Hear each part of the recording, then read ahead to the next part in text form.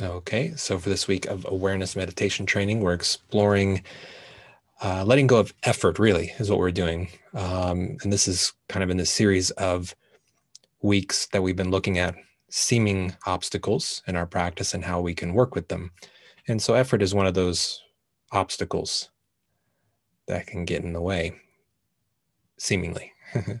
so, uh, we're going to work of letting go of, pra- uh, of effort, which is also essentially letting go of practice in a certain way. We'll talk about what that means. So, um, first thing though to mention is that as we've explored already, doing in itself movement isn't a problem.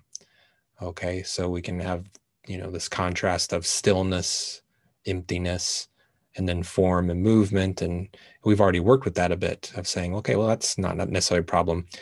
But here specifically, we're talking about effort and effort in practice, especially. So, effort, there's a sense that we have to do something in order to recognize awareness and rest in, in awareness. And so we take up this intentional doing in practice when all the doing happens in awareness already. Doing and not doing both happen and uh, occur in awareness. Um, but it's really a habitual tendency to do that. It's really common. I mean it's kind of why we practice. So you know uh, there, there's a paradox there. Um, so you know it's getting familiar with this tendency to effort in an automatic way. And behind effort uh, there's explicitly the sense of we're trying to get somewhere. Okay? So this is also part of it So we're going to look a little bit more closely at what's underneath what we call effort in our practice, how it shows up so we can kind of more subtly recognize effort, how it happens, which will let us more easily let that go and kind of relax around effort. Okay, so we're kind of getting familiar with what is happening unconsciously in practice, this efforting. And so today, uh, I'm going to share a few pieces from uh, a technically it's a poem from Jigme Jigme Lingpa, and this was translated by Ken McLeod, and it's in a little book called uh, Trackless Path. It's really wonderful. I, I really love the the format that Ken Ken's done this a couple times, taking a really short poem that has a lot of profound teachings in it, and he translating. He's a fantastic translator, and then with each little stanza, he provides a page or two of heartfelt embodied commentary and it's really really wonderful. I love these you know just sit with read them and that in and of itself is practice. So i'm going to share a few things from that that are really relevant to this. So first let's just acknowledge that paradox of practice okay? And jigme lingpa has a verse here that says um, in general work and effort by themselves create opposition. If you practice you stir up all sorts of pains and discomforts if you don't practice, you don't see what you are and wander in confusion. In either case, you lose touch with what is straightforward and natural. So the verse reads a little bit like to me, damned if you do, damned if you don't. so it's like you practice, you're stirring stuff up. Don't practice, well, then everything's the same, you know, and you don't recognize awareness. So there's a, there's some acknowledgement of, of the paradox there. So with that, we can ask a few questions. You know, if we're going to practice, what's the most helpful way to practice? How are we currently practicing? Uh, what do we think practice is and what will come from it? I, I think these are great questions to ask just in general, um, but we're asking these kind of questions from the perspective in the context of awareness meditation training. So asking those questions in, in other ways of meditating might be a little different. Okay so now let's talk a little bit more about in general how do we practice letting go of effort and some uh, some verses and commentary here. So this is the verse from jigme lingpa. Uh, he says be clear that the approach of practice versus not practice relies on an artificial distinction. Without trying to reshape it in any way rest in what you experience right now.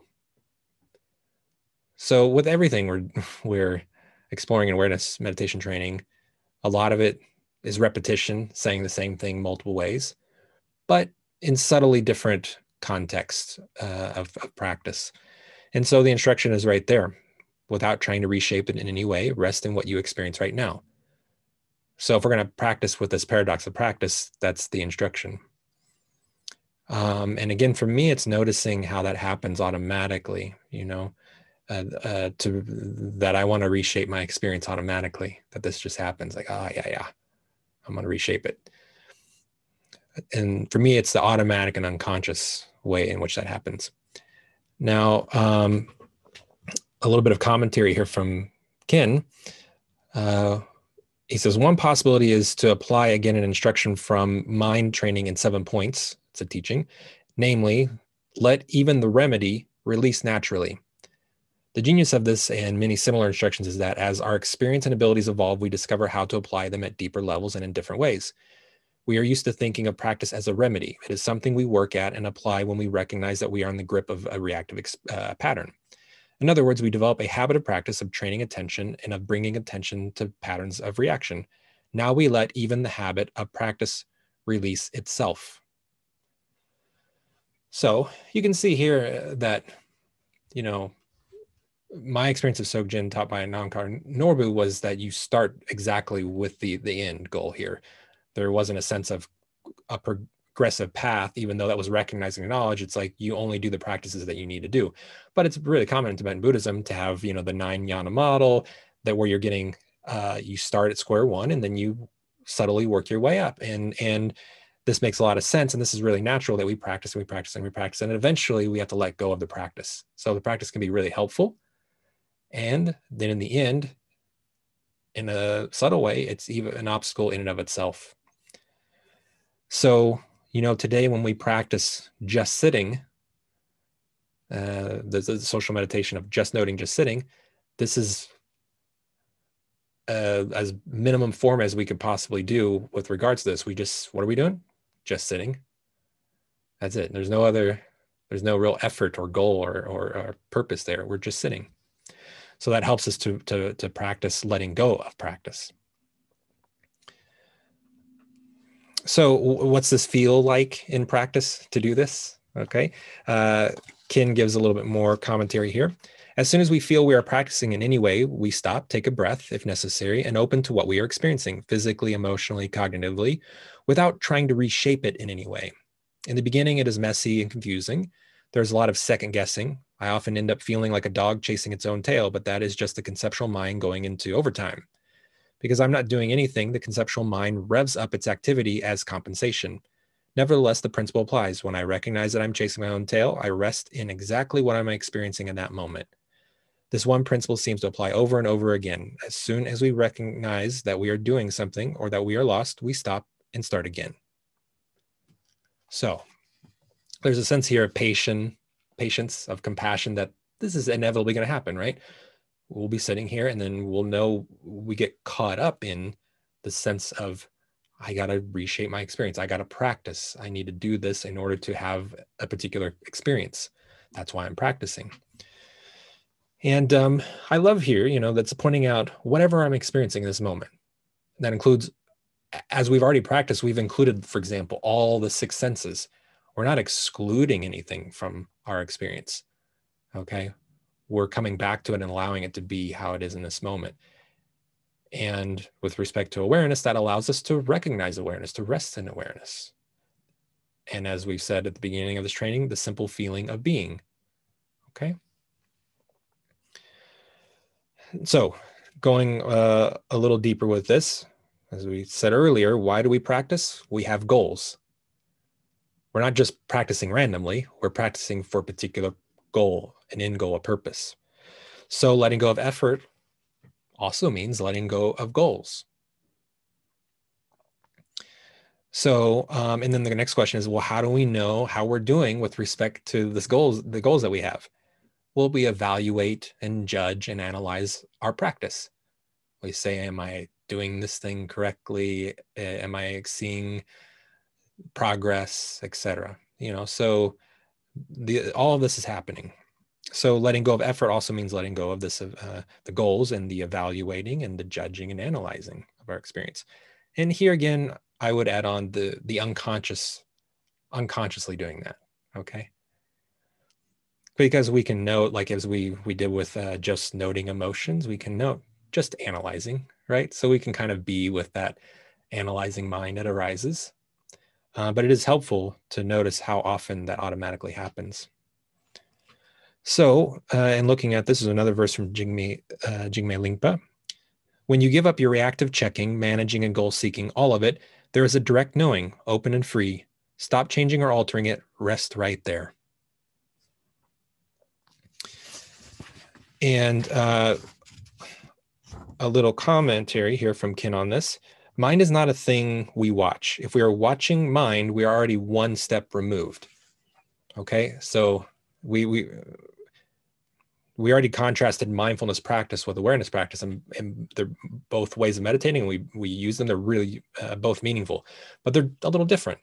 Mindfulness, we are watching, you know, what intensely, uh, what's rising here. We're just resting not not trying to watch a thing we're resting in the awareness. Watching happens in awareness. Ken says if we are trying to change what we are experiencing or trying to analyze or track it we are more than one step removed.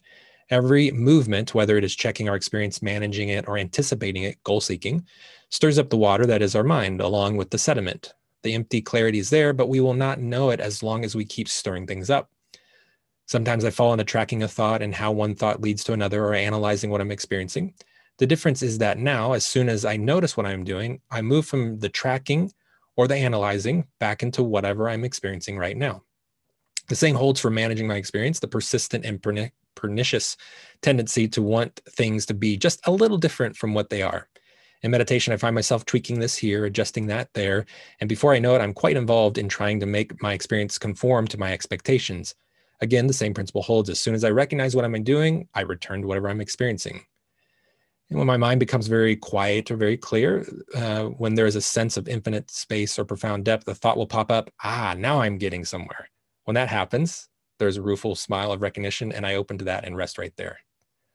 So I imagine this is something we can all relate to in our practice of noticing uh, these tendencies and tweaking practice. And, and with that, really can come a subtle or not so subtle exhaustion with it you know? Like, oh, i gotta tweak something i gotta tweak it like, you know? It's it's really is a sense of stirring up of expending energy of not letting ourselves just be. Yeah, for a moment.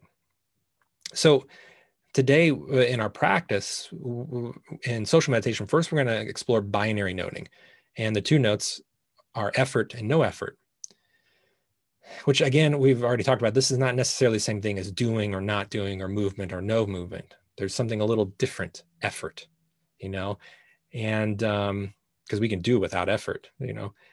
But here um you know we're, we're we're tapping into everything that was connected to that the goal seeking the, the the trying to tweak experience the expectations the judgments evaluations all that in that effort. And we can know when that happens. Ah effort No effort. No effort. Effort. Okay, we just note that. And in doing this, we get more familiar with, with our tendencies, okay? We can both see how uh, much that comes up and also recognize what it is to just simply be, the no effort. Then uh, we're going to practice also just noting, just sitting, where the only note is just sitting spontaneously. That's what you note whenever you feel like noting it. There's no other instructions, but obviously it can be a recognition that, ah, yeah, just sitting. That's what's happening. Or, you know, a reminder, something that brings us back. Ah, just sitting. Uh, thing that Ken said over and over, just coming back to what I'm experiencing just sitting. Okay. So, you know, I think that's enough talking about efforting. And so now we can practice in just being.